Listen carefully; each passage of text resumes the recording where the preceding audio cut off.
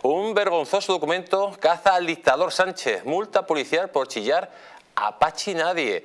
El pasado 31 de marzo, el Partido Socialista Obrero Español presentó su candidatura a la alcaldía de Mislata. Por cierto, desde aquí doy recuerdos a mi prima que vive en Mislata.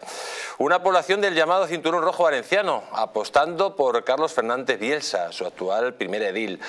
Los socialistas cuidan mucho estos actos, asegurando la participación y presencia de cientos de afiliados para dar la bienvenida al padrino de la presentación, el actual portavoz del Partido Socialista Obrero Español en el Congreso, Pachi López. Presencia que levantó mucho entusiasmo entre los asistentes y también en el protagonista del acto que agradecía su presencia al mismo. Bielsa reconocía que López es un baluarte del socialismo transformador y le daba también las gracias por darle sentido a la política. Bielsa admitió en varias ocasiones estar emocionado por las muestras de apoyo y de cariño de vecinos y militantes y por ver aquí a tanta, tantísima gente, gente trabajadora, sencilla, gente joven, gente con experiencia que participa y toma las riendas de la actividad en nuestras asociaciones que aporta a la convivencia en este modelo de ciudad ejemplar. Sin embargo, no iba a resaltar tan bonito ni para Pachi López ni para el alcalde y el candidato de Milata ni tampoco siquiera para los militantes que allí acudieron que tuvieron que soportar algo parecido a un escrache con gritos y críticas a López y a los dirigentes socialistas allí presentes por algo que se había convertido ya en habitual el cambio de postura del gobierno sobre el Sáhara.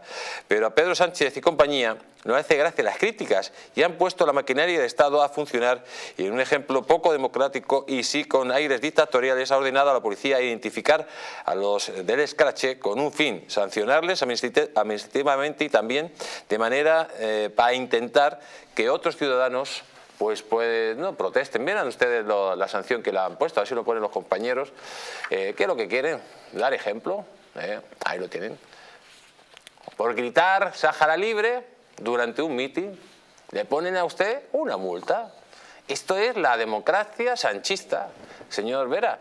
Es increíble que estemos en un país y que en un mitin usted diga que Sánchez, o bueno, en el caso de Pachi López, es un vende obreros, que no mentiría, que es un traidor porque ha vendido el Sáhara, nadie sabe por qué, a Marruecos, que tampoco mentiría, y porque bueno, pues que es un tipo que yo creo que es un auténtico cáncer para la democracia y para la sociedad española y para la nación española.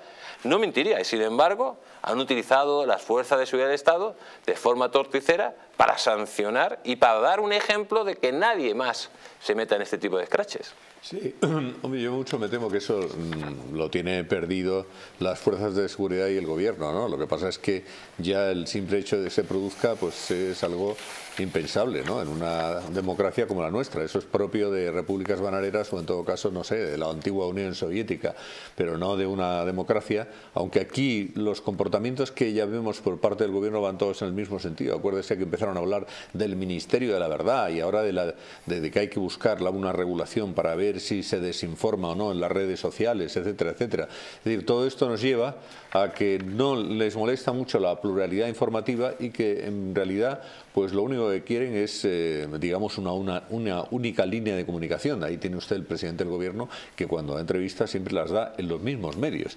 A usted seguro, le aseguro que no le va a dar nunca ninguna entrevista. Bueno, bueno, nada es imposible. ¿no? Nada es imposible. A lo mejor si Pedro Sánchez quiere recuperar el voto perdido, pues nos concede una entrevista, ¿no? puede ser, no, no, vamos a descartarlo.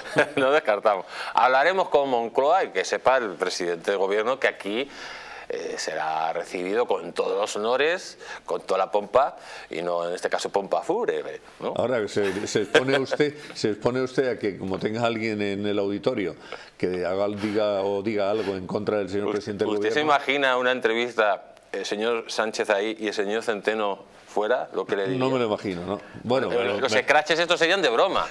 Efectivamente.